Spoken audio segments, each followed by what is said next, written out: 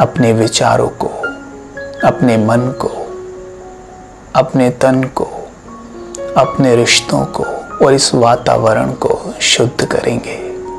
देखिए, जब भी हम कोई थॉट क्रिएट करते हैं तो वो थॉट हमें चार तरह से अफेक्ट करता है, हमारे ऊपर चार तरह से असर डालता है। कैसे? ध्यान से सुनेंगे।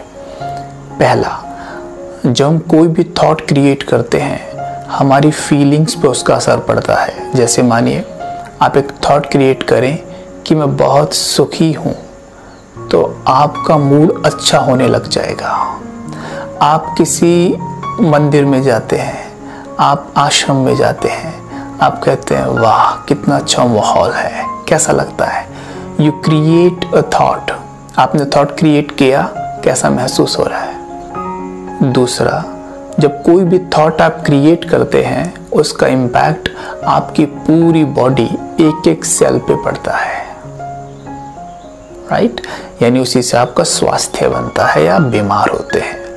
तीसरा, हम कोई भी थॉट जब क्रिएट करते हैं तो अगर हमने वो किसी के लिए किया है, जो कि हम करते ही हैं किसी ना किसी के लिए तो वो उसके पास पहुँचता है, उससे हमारे रिश्ते बनते और बिगड़ते हैं।